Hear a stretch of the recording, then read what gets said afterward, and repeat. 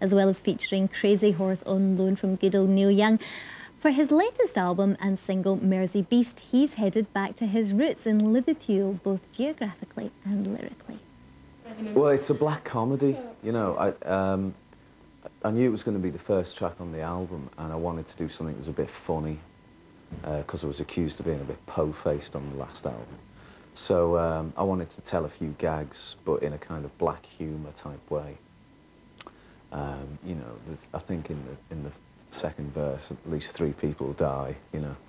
Um, but it's done in a, in a comedic type way. It's, it's very tongue-in-cheek, you know. I, I hope nobody would get too sort of depressed by hearing it.